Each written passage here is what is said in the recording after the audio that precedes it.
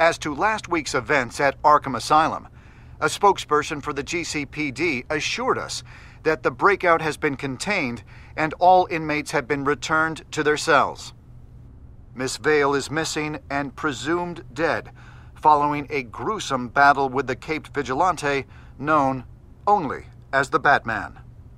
Her death marks the end of Children of Arkham's reign of terror. If the public knew the half of it. It's better that they don't. Uh, this came in the mail. It's unsigned. Selina. With everything that's been going on, I. I haven't gotten a chance to thank you for what you did, sacrificing your identity for my safety. But uh, it was a dangerous thing to do. You could lose everything. The secrecy you've worked so hard to maintain. Gone. Without you, none of this would work. You are my family. You don't know how good it is to hear you say that. After everything that's happened. And your ear? At least there's something left of it. Dr. Thompkins assured me it adds character. that it does.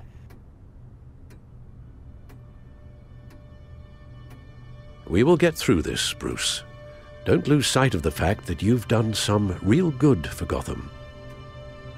You should be proud. I didn't take them down alone. I had help. You, Lucius, Gordon, Selina, and all those who gave their life fighting for Gotham. To those who helped, and those we lost. The damage done by the Children of Arkham has left Gotham a city in turmoil. Faith in those at the top has perhaps irrevocably been shaken. Acting Commissioner James Gordon has promised to speak out about the issue tonight during an emergency citywide address. And I hope, despite the recent terror that's gripped our city, that Gotham's leading citizens will come out to show their support. Will his token appointment be enough to regain the city's trust? It remains to be seen. But experts agree that Gordon requested Gotham's leaders to stand behind him. Leaders like you. Let Gotham see who Bruce Wayne truly is, and let them know what you plan to do for his future. Well, this could be a fresh start. For you, and for this city. Though, in Gotham, the only figure that can make as much impact as a Wayne is Batman. You've helped this city tremendously, both as Bruce Wayne and Batman.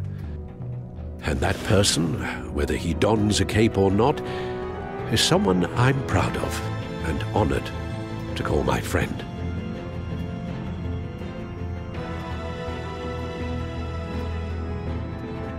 Thank you, Alfred. So, what do you intend to do about tonight? Well, Lucius has yet to invent a suit that'll let Bruce Wayne and Batman be in the same place at once. That is unfortunate. I suppose you must decide whose appearance will be more valuable. As Bruce, you can help repair the damage done to your name, get the public support so that you can change things from the top down. But Batman is a symbol of justice and strength. Maybe in these dark times, that is truly what Gotham needs the most. Perhaps one is truly the mask. Let Gordon know Bruce Wayne will be there. You'll make quite the impression. Gordon will be grateful.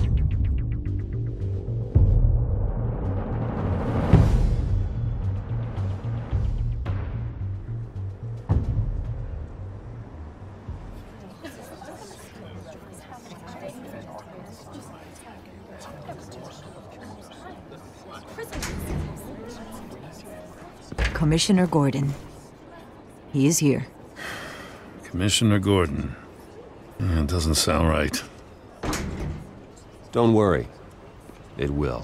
Thank you for having me, Commissioner. What uh, happened to your ear? It looks painful. Cut myself shaving? What'd you use, a chainsaw? Well, to be honest, I was surprised to get your call. After that nasty business at your manor, I know Harvey was a good friend of yours. A loss like that, I wouldn't blame you for lying low. What you did is no secret. These people all saw there's more to Bruce Wayne than just the playboy. Public opinion is bound to swing around. Before long, you'll be Gotham's golden boy again. It's time I owned my family's past. Take responsibility for what my father did, so we can all move forward. That can't be easy. But I'm glad that you're here. I was half hoping Batman might show up, too. I wouldn't mind knowing he was keeping an eye on things here. Not to mention, he makes one hell of an impression on people. Too bad he's not here. Wouldn't mind meeting him. Yeah? Well, he's not much of a talker.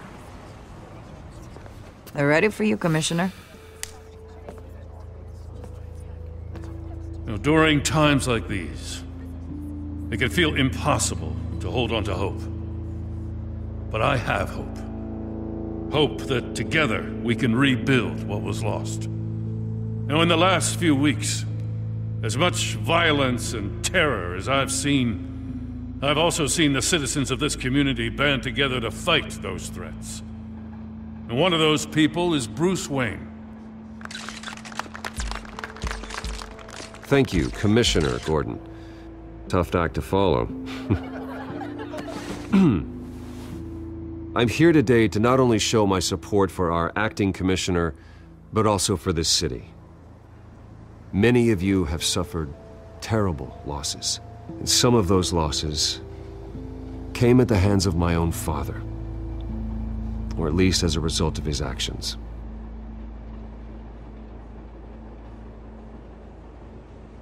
I would like to take this opportunity to apologize. To tell you how sorry I am for the pain the Wayne family has caused this community. If my recent incident with Harvey Dent has shown me anything, it's that I can no longer sit on the sidelines. My family's wealth was built on the suffering of others. I think it's time to repay that debt. I plan to use my resources to improve the city and make the lives of its citizens better. And to that end,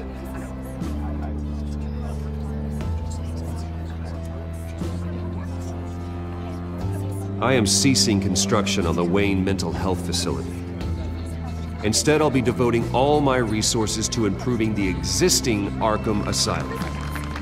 It will be the most advanced mental health treatment facility in the country, in keeping with the vision of its founders.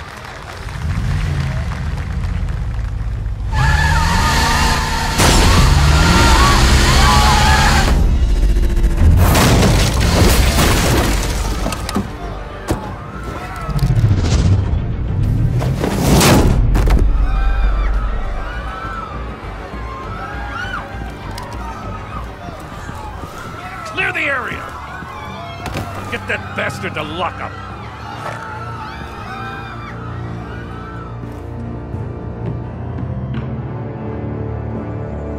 Just minutes ago, Bruce Wayne delivered a rousing speech that turned into a shocking assassination attempt on his life. He sure does clean up well. See you soon.